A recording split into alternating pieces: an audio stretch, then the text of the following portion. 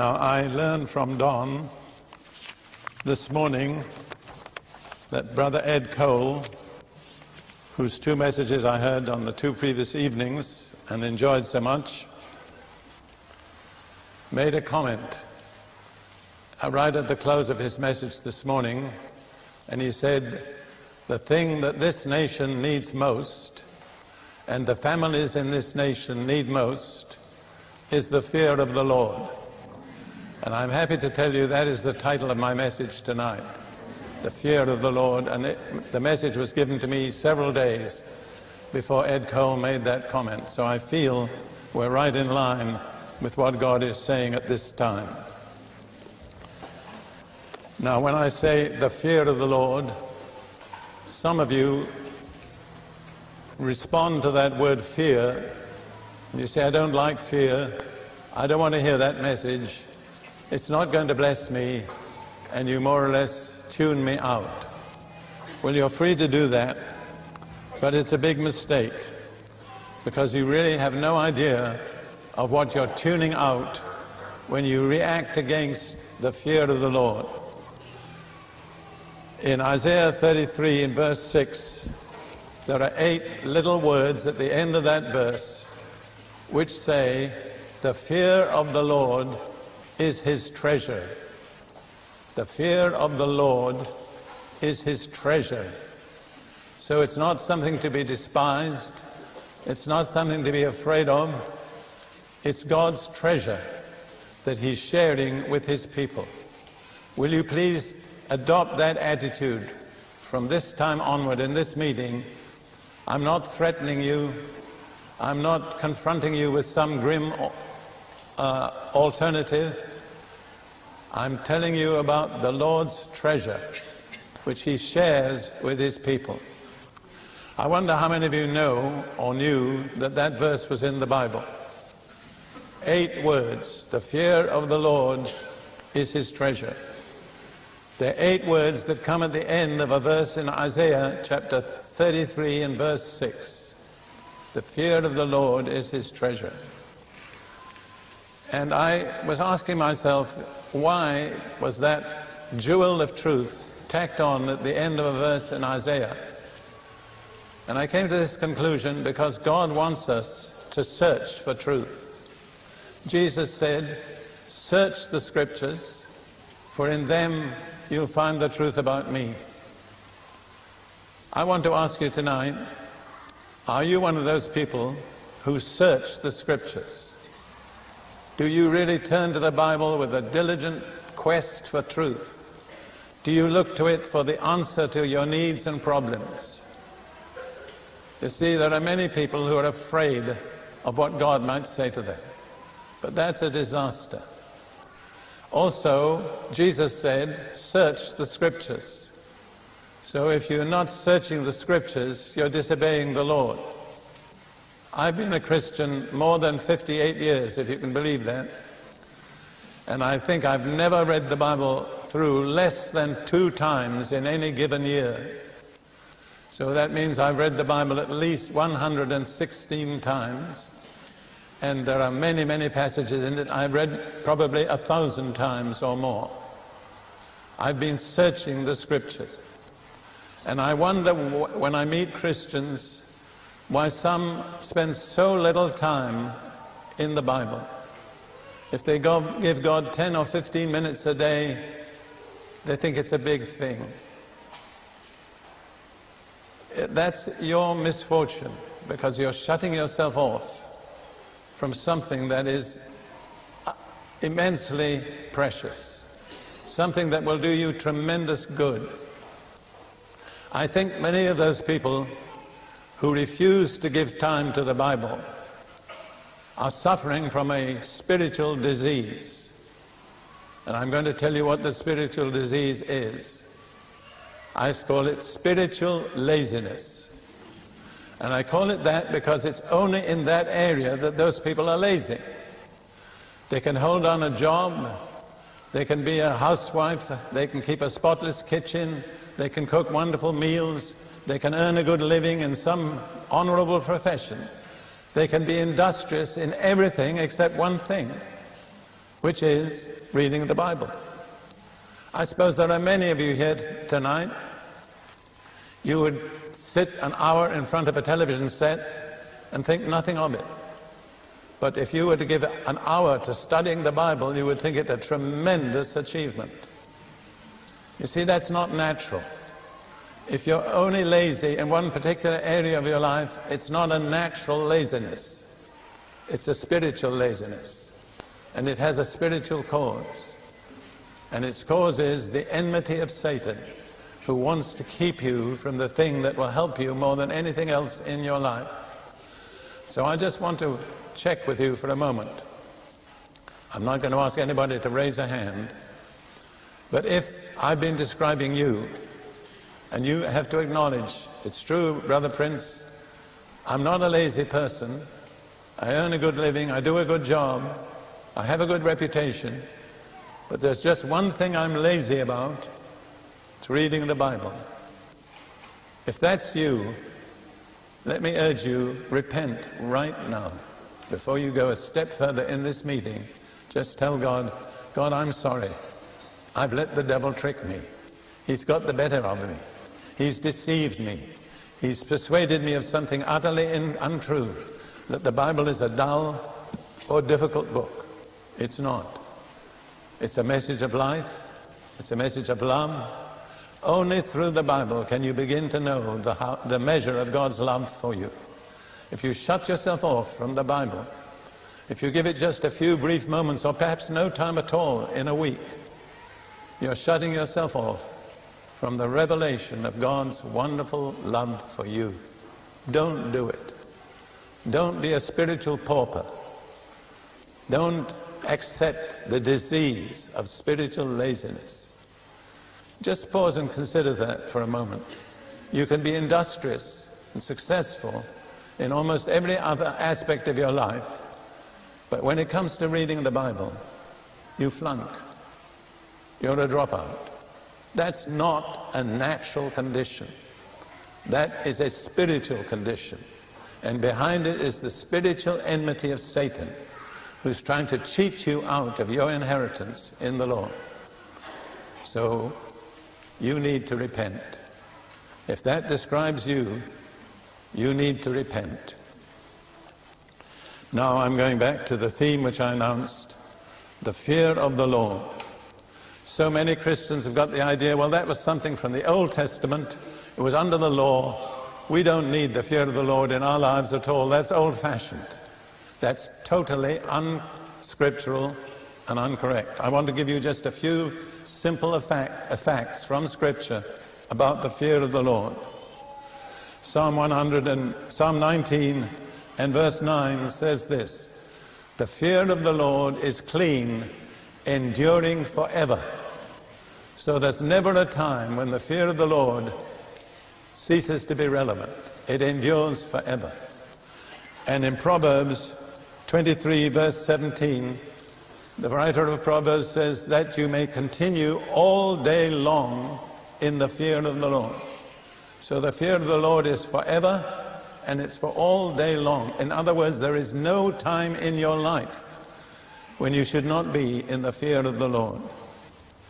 Now, many people have a very negative view of what is meant by the fear of the Lord. I want to tell you some things that it is not, first of all. First of all, it is not natural fear. It's not the kind of fear you experience in an automobile when you feel you're going to crash. That's not the fear of the Lord. Secondly, it is not demonic fear. There is a spirit of fear, a demon. I've dealt with, I probably say, hundreds of people who needed deliverance from the spirit of fear, but that's not what we're talking about. Uh, um, Paul, Paul says in 2 Timothy 1 7, God has not given us a spirit of fear. He has not given us a demon. And in 1 John 4 17, John says, There is no fear in love. For perfect love casts out fear, for fear has torment. That's not the fear we're talking about. Tormenting fear is from the devil, and it has no place in the life of a Christian, but it has a place in the life of some of you. And really, the greatest remedy for the tormenting fear is the true fear of the Lord. And then the fear of the Lord is not fear of man. It delivers us from the fear of man. And it enables us to show respect and honor for the Lord. So, what is the fear of the Lord? Well, I'll give you just a few English words, none of which fully describe this extraordinary spiritual realm of being. It's fear of a special kind. Sometimes it is very powerful physical fear. For instance, when Moses was confronted with the glory of the Lord and the voice of the Lord at Mount Sinai, he said this So terrifying was the sight that Moses said, I am exceedingly afraid and trembling. Now, Moses lived as close to the Lord as most of us. In fact, I would guess much closer. But when he was confronted with a revelation of God's majesty and glory, he said, I'm exceedingly afraid and I tremble. If Moses could tremble, so can you. That's not a harmful experience. In fact, I think nearly all of us need a much greater, clearer vision of the awe and the majesty and the power of God. I would say one of the best words to describe it is awe, A W E, from which we get the word awesome. That has a certain religious connotation. It expresses our reaction to majesty, to power, to holiness. Another word is reverence. But unfortunately, reverence has changed its meaning. I remember as a boy growing up in the Anglican church in this country, when we got inside the church building, we changed our behavior. We didn't speak aloud, we walked very carefully, we stood very stiff, and we thought that was reverence. That was bondage. It was not reverence. reverence is a response to a revelation of God. You cannot have reverence without revelation. When God reveals himself, I believe the only appropriate response is reverence. And then with it goes submissiveness, a submissive attitude toward God is an expression of the fear of the Lord in our lives. When we're high handed, arrogant, self sufficient, self proclaiming, as many of us are, that has nothing to do with the fear of the Lord. There is no fear of the Lord in a person who conducts himself like that. Another very amazing thing revealed in Scripture is that, in a certain sense, what you fear is your God. In Genesis 31, Jacob is talking to his uncle Laban, or his father in law Laban, and he's saying, You didn't treat me right, but God looked after me. And in Genesis 31 and verse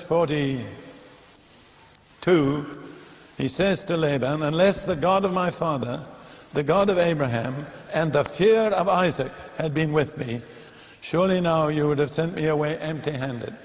So he called God the God of Abraham and the fear of Isaac. In other words, what Isaac feared was the true God, it was his God. And then at the end of the same chapter, in verse 53,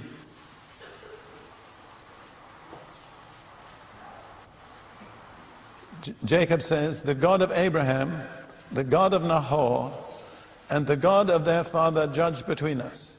And, jo- and Jacob swore by the fear of his father Isaac.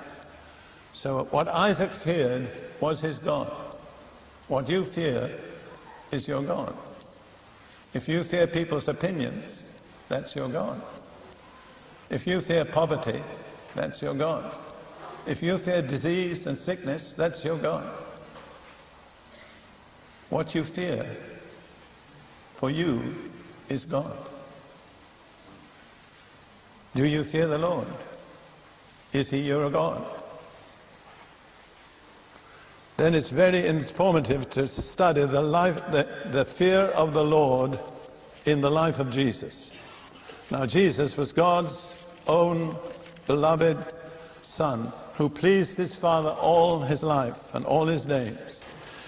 And yet, when Isaiah speaks about the anointing of the Holy Spirit that was to mark Jesus out as Messiah, as the anointed one that Israel was expecting, he described seven distinct aspects of the Holy Spirit that would rest on Jesus. And these are found in Isaiah chapter 11, beginning at the first verse.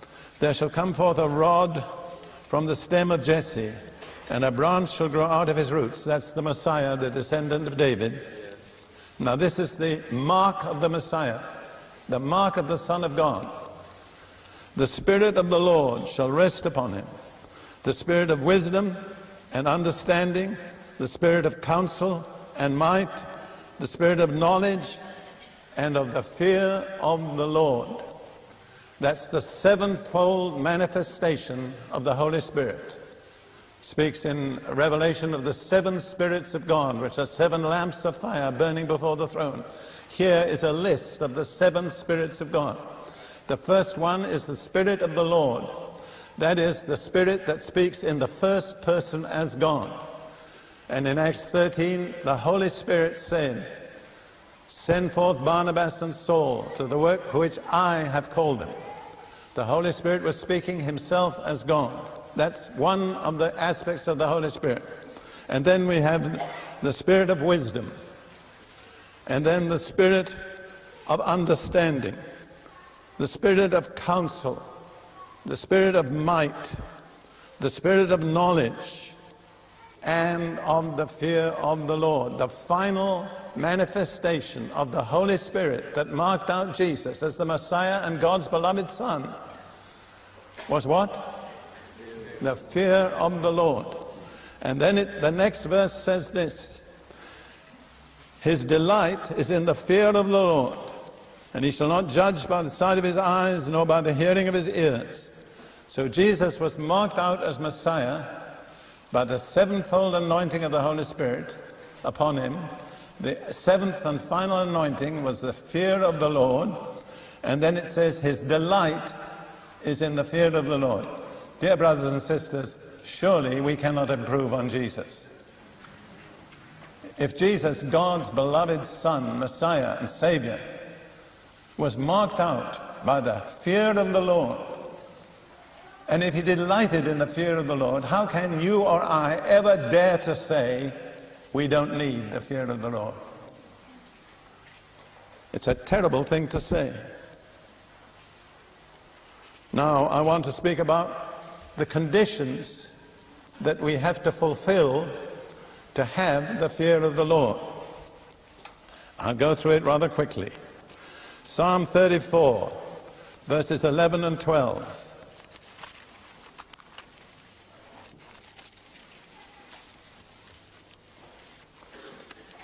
God is speaking.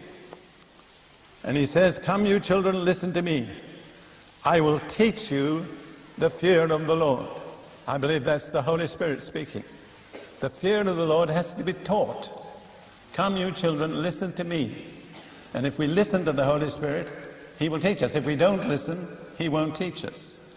Listen to me, and I will teach you the fear of the Lord. And then it describes the kind of person you have to be to experience the fear of the Lord.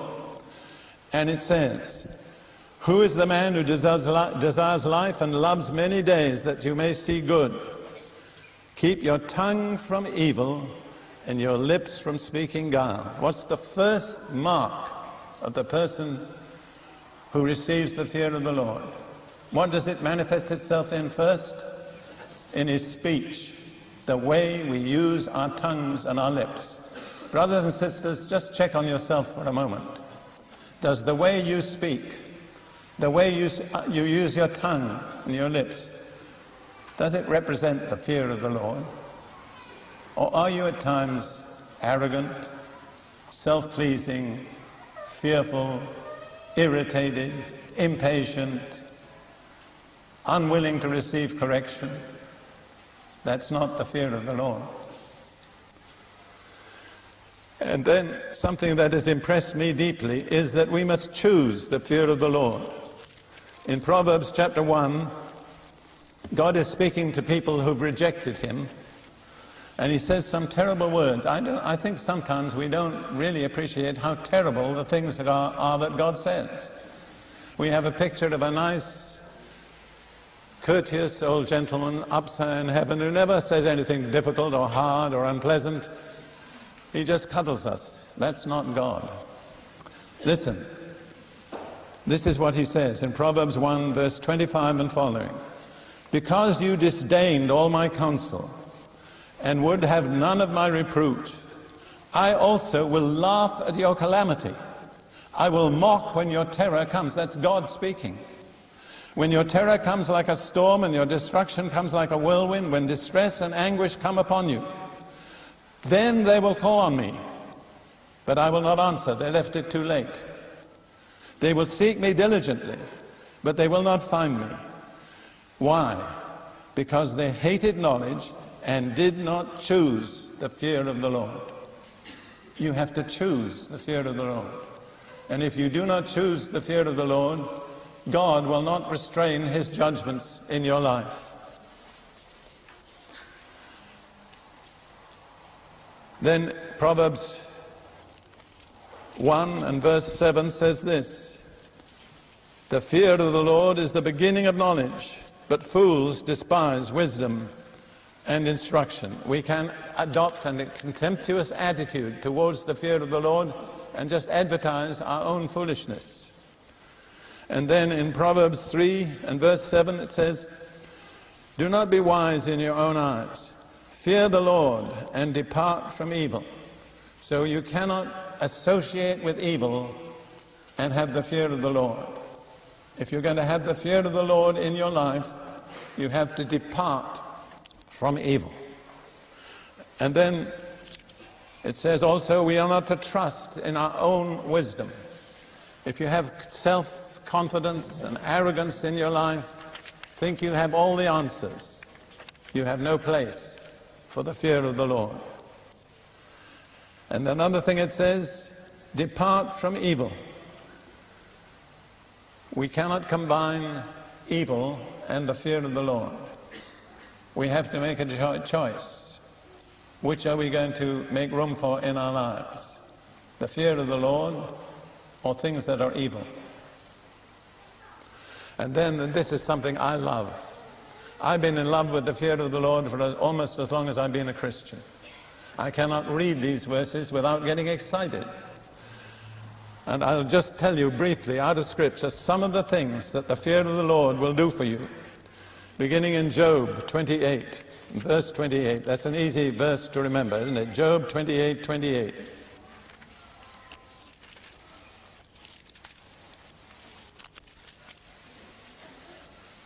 To man, God said, Behold, the fear of the Lord is wisdom, and to depart from evil is understanding.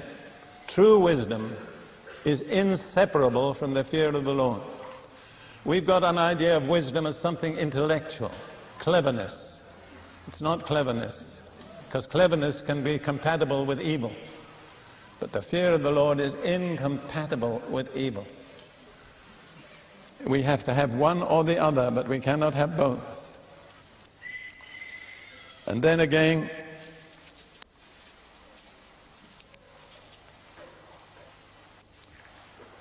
these are so wonderful. Psalm 25, verse 12. Psalm 25, 12. Who is the man that fears the Lord? Him shall he teach in the way he chooses. You see, God doesn't teach everybody. And God doesn't choose his students on the basis of examinations. He chooses his students on the basis of character. And God does not commit himself to teach those who have no fear of the Lord. You can go to a Bible school, you can go to the best training center, even here. But without the fear of the Lord, you're not a pupil of God. You can be a pupil of human teachers, but not of the Lord. And then another wonderful thought in the same psalm, verse 14 of Psalm 25. The secret of the Lord is with those who fear him, and he will show them his covenant. Isn't that marvelous? That if you fear the Lord, he'll share his secrets with you. Nobody shares his secrets with an enemy. If you share your secrets with somebody, that's a person who's intimate with you. It's a person whom you trust. God says, if the fear of the Lord is in your life, I'll share my secrets with you. And he says, I will show you my covenant. You know, one of the most critical truths of the Bible is the truth of covenant. In fact, the whole Bible revolves around covenant. It's the new, it's the old covenant and the new covenant. Covenant is the theme of Scripture. But God, only those who fear the Lord understand covenant. That's why there's so many covenant breakers in the church. That's why there's so many people who break the covenant of marriage. Because they have no fear of the Lord. The fear of the Lord is an essential ingredient in a happy, successful marriage. Without it, a marriage can never function as it should. I had an interesting conversation some years ago with a man and his wife he was a leader in the evangelical movement in the United States. I won't give his name. And they were sharing very frankly about their own problems in their marriage. And the wife was telling us they came to a point in their bedroom one night when they were having a real argument. And he was pointing his finger at saying, You have to submit. And she was saying, I don't see why I should. You've made some pretty silly decisions. And they were getting really angry. And then they remembered they were Christians and they were not behaving like Christians. And they fell down on opposite sides of their bed on their knees and began to seek God. And the wife said this it was as if a cold wind blew through our bedroom. And it said, submitting yourselves one to another in the fear of God.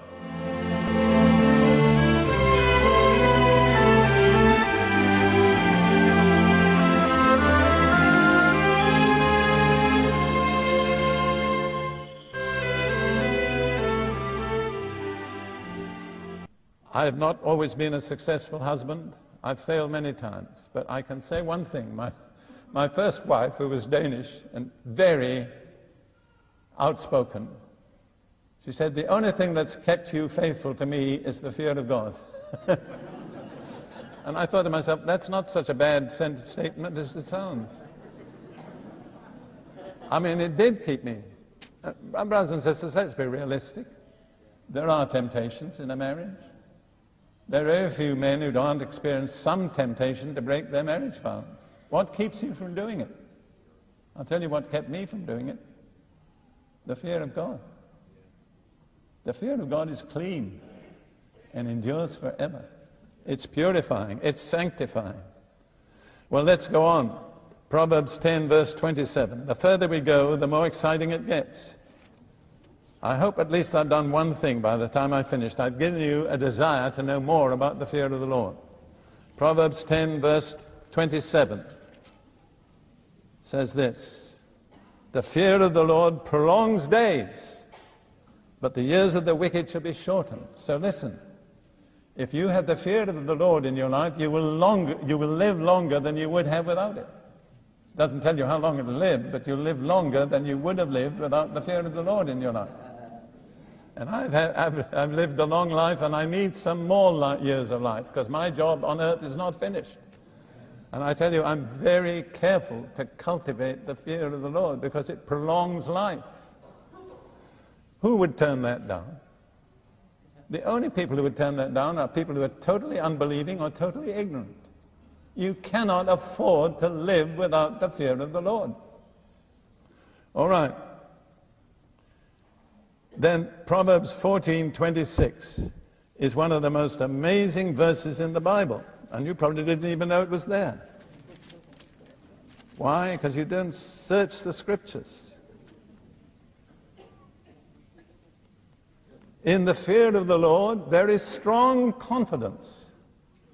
Doesn't make you timid, doesn't make you weak. It gives you strength. You fear the Lord, you don't have to fear anything else. It's the remedy for all other ungodly forms of fear. And then I think this is my favorite one. And I just want to ask you, how could you turn down a promise like this? Proverbs 19:23.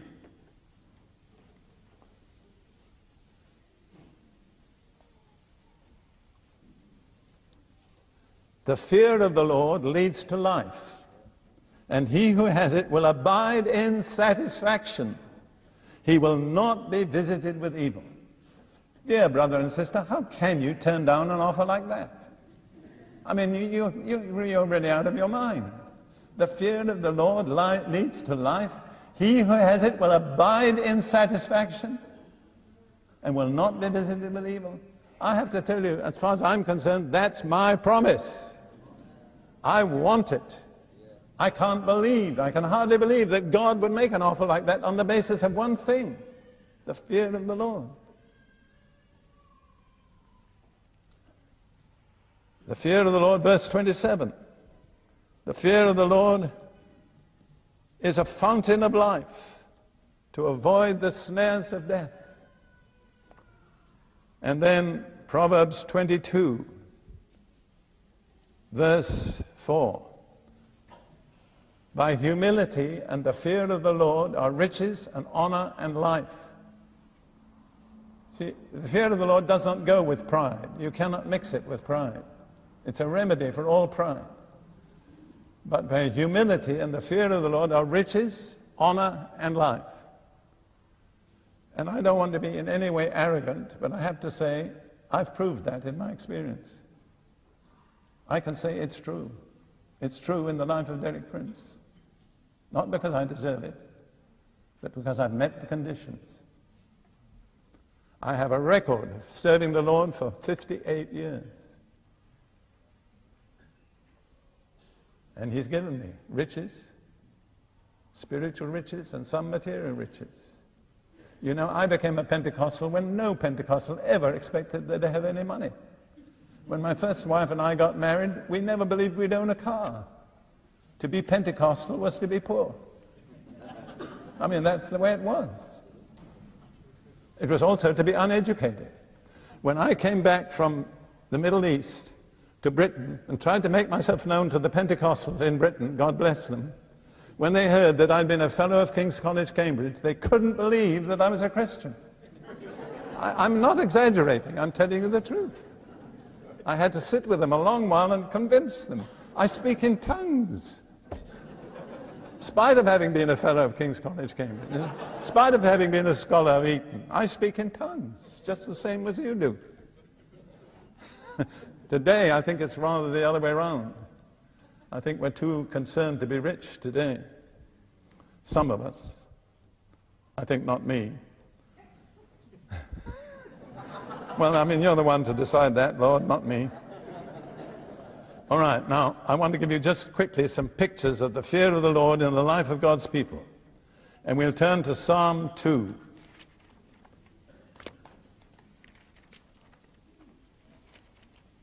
Psalm 2, verse 11. Serve the Lord with fear and rejoice with trembling. That doesn't make sense to the carnal mind. How can you have fear and rejoicing? How can you be trembling and rejoicing? But you see, that's the spiritual combination. The two go together the fear of the Lord and trembling, rejoicing and trembling. And then in the in the New Testament, in Acts chapter 9, a description of the early church. Acts 9, verse 31. Acts 9:31.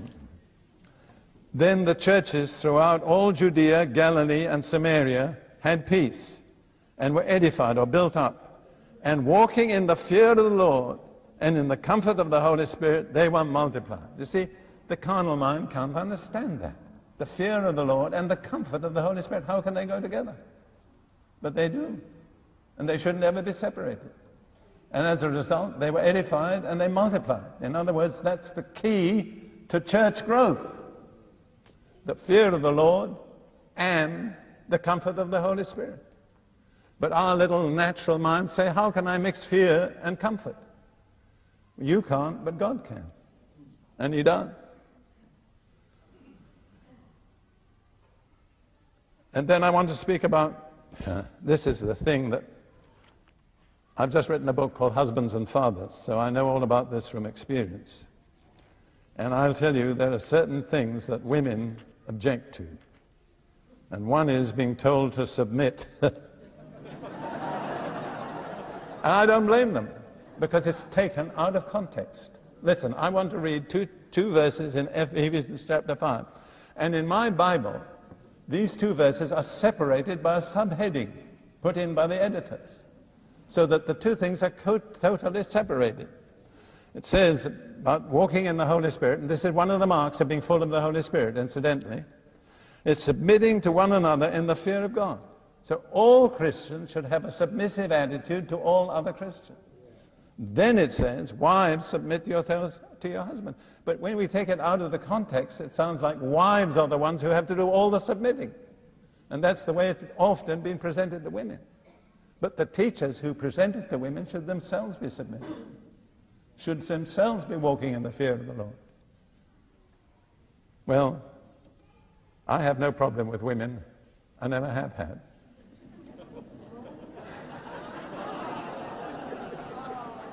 Well, I've been married 50 years 30 years to my first wife, 20 years to my second wife. And both of them are now with the Lord. And I'm looking forward to joining them. But I've got a little more to do before I do. But I've had two happy, successful marriages.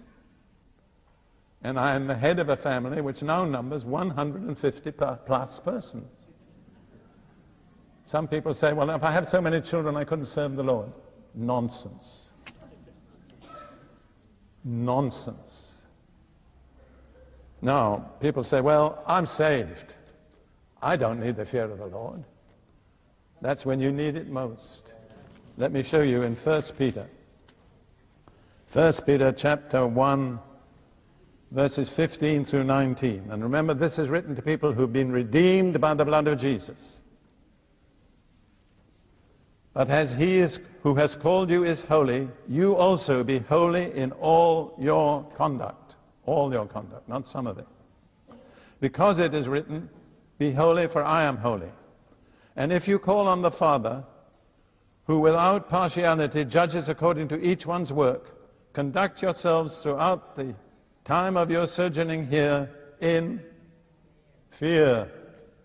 Whom was it written to? people redeemed by the blood of Jesus. What did it say? Conduct the time of your sojourning here in fear. And why? Knowing that you were not redeemed with corruptible things like silver or gold from your aimless conduct received by tradition from your fathers, but with the precious blood of Christ as of a lamb without blemish and without spot. The very fact that God paid our redemption with the blood of Jesus, the most precious thing in the universe, is a reason why we should always walk in fear. Fear that we somehow betray our Redeemer. Fear that somehow we lower the price of our redemption to something cheap and insignificant. That's the mark of a committed Christian. That's the mark of a Christian who understands what it costs God to redeem him. Brothers and sisters, I am really anxious not to do anything that would in any way belittle the price of the blood of Jesus. He paid for me with his precious blood. I don't want to make that cheap. I don't want to act as if it wasn't the supreme sacrifice of God. If God was willing to sacrifice that much for me, how can I lead a carnal, self-indulgent, self-pleasing life? How can I be more occupied with what I want than what God wants? It's the most, in a way, I, I say this, I'll offend you, but one of the most terrifying things in my life is God paid, with me, paid for me with the blood of Jesus. The most precious thing in the universe. I didn't deserve it. I was totally unworthy, and so were you. But if God paid that much for you,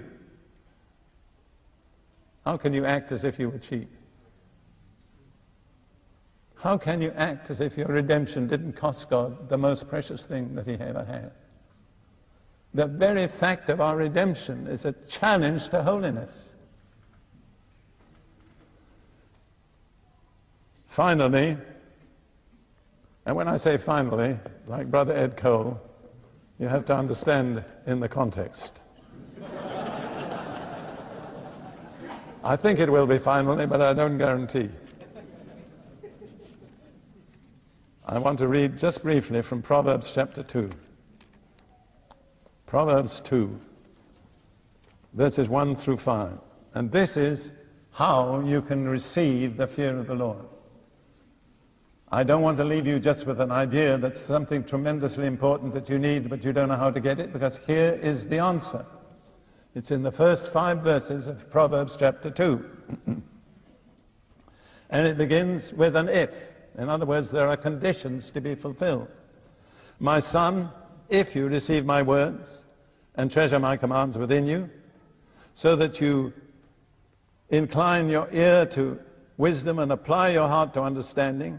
Yes, if you cry out for discernment and lift up your voice for understanding, if you seek her as silver and search for her as for hidden treasures, then, then you will understand the fear of the Lord and find the knowledge of God. So the then comes after the if. What are the conditions? Let me go through them briefly. If you receive my words and treasure my commands within you, that is, we receive God's word with respect, with an attitude of submission and, and obedience. We receive it as the most valuable thing in life. Treasure it. the Hebrew word means to store something up in a secret place because it's the most valuable thing you have. That's condition number one, receiving God's word. Condition number two, so that you incline your ear to wisdom and apply your heart to understanding. You know something about the human body? You cannot incline your ear without bowing your head. Did you know that? There's no way your, head, your ear can move apart from your head. So when you incline your ear, what do you do? You bow down your head. You become submissive and teachable. When I was a trainer of teachers in Kenya, which was a long while ago, it may have changed now, but when a pupil came up to a teacher in an African school, he would come with his exercise book like this, and he would bow and you know what that was saying? You're the teacher, I'm the pupil. And that's how we should come to God. You're the teacher, I'm the pupil. I receive your words. I do not argue with them. I do not reason them away. I do not explain them as out of date. Because the fear of the Lord endures forever. It's never out of date. Verse 3 If you cry out for discernment and lift up your voice for understanding. So that's prayer impassioned prayer, crying out for discernment, lifting up your voice for understanding. And then verse 4 if you seek her silver and search for her as for hidden treasure, it's, it's a search. God doesn't put everything right out in the open. That verse that I quoted from Isaiah 33 6, you have to search to find it. The fear of the Lord is his treasure. You can read that many, many times and not even notice it's there. God doesn't put his jewels right out on the pavement for anybody to pick up. He puts them in places where you have to grasp for them and grope for them. All right, we come now to the end. Then you will understand the fear of the Lord. So it's not an easy thing. It's not something cheap. It's not something too simple.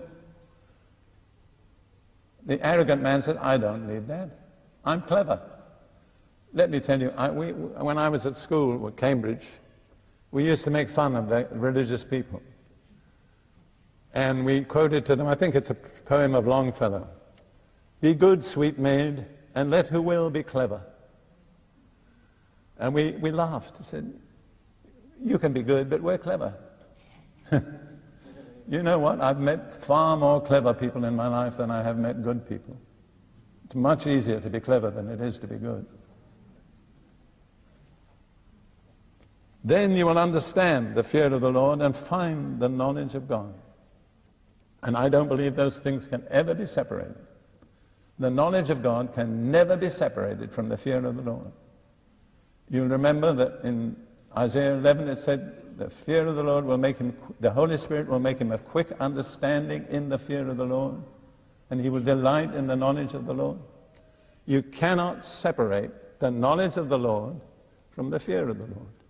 You don't have more knowledge of the Lord in your life than you have fear of the Lord. I'm not talking about the ungodly fear. I'm not talking about the tormenting fear.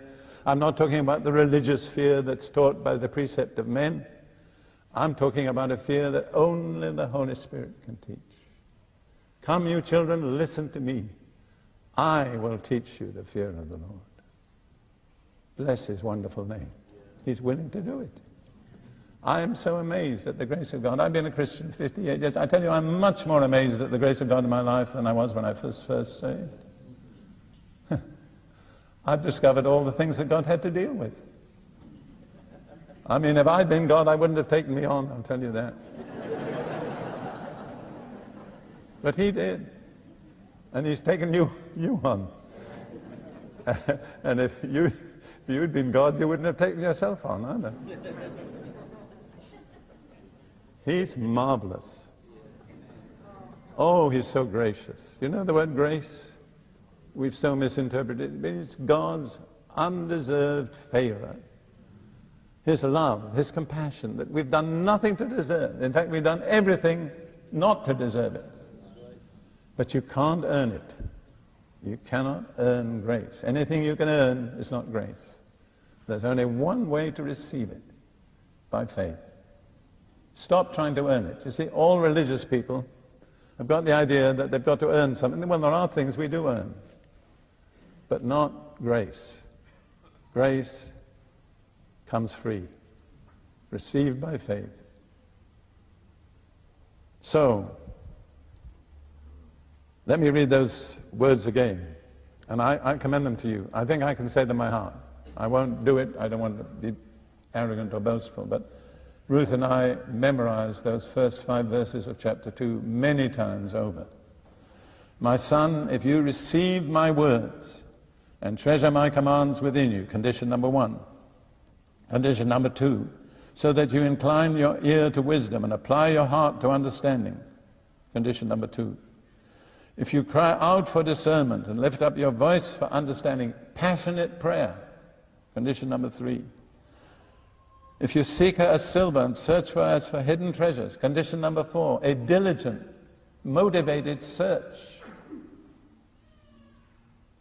Then you will understand the fear of the Lord and find the knowledge of God. How precious, how wonderful. Now, I've come to the end of my message, but it would be unfair to leave you with nothing but a message. I want you to think over for a few moments what I've been saying.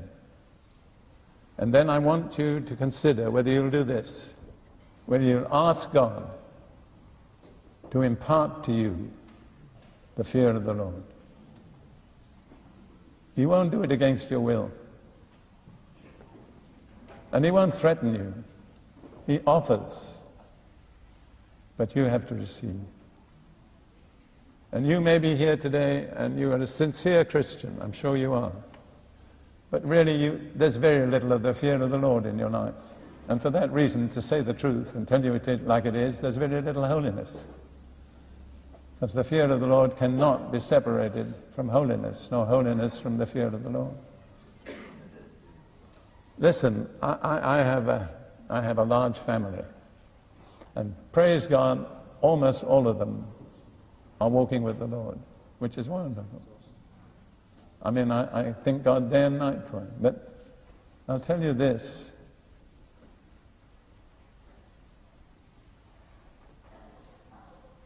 It's very easy to take God for granted. Most of, I think all my children have known the Lord from childhood. They've walked with the Lord. But there can come a time in any person's life when you take things for granted that you have no right to take for granted. Well, here I am. I've done my best. If you really feel here tonight that God has been awakening you to a need in your life of the fear of the Lord, which is clean and endures forever, which prolongs your life,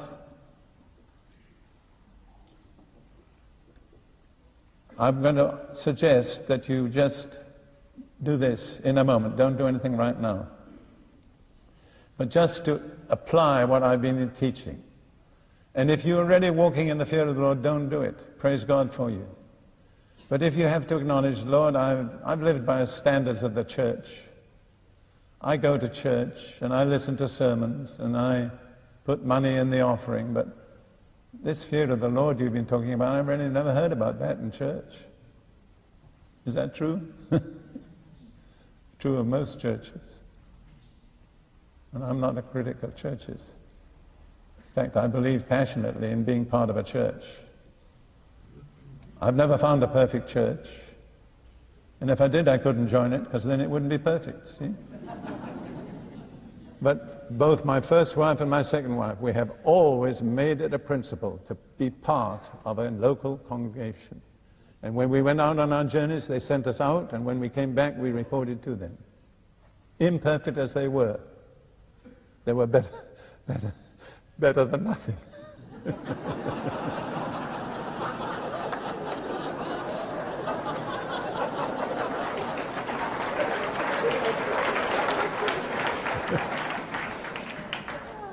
well, well, anyhow, listen. Uh, don't, don't tell me that you're much better than I am, because I don't believe it. Now, seriously, you really have heard something tonight that stirred your desire. You have an appetite for something more. How terrible to provide food for people who don't have an appetite. But tonight you've heard something. There is something here. This fear of the Lord is something I've never really understood. Nobody ever told me about it, but I see it's all in the Bible from beginning to end, from Genesis to Revelation. And whatever it is, Lord, I don't understand it fully, but I want it. Now, if that's the way you feel, and I want you to be very careful, because it's easy to respond in an atmosphere like this and go out and forget what you've done, which will not please God. But if you are here tonight and you say, Brother Prince, after listening to you, I realize I have, had no understanding of the fear of the Lord. I didn't know what it was. I didn't appreciate it. But I really want it. I want to ask God to give it to me. I want to ask God here tonight to give it to me. If that's what you want, I'm not going to call people forward to the front. But I just want you, if that's your response, I want you to stand to your feet right where you are, right now.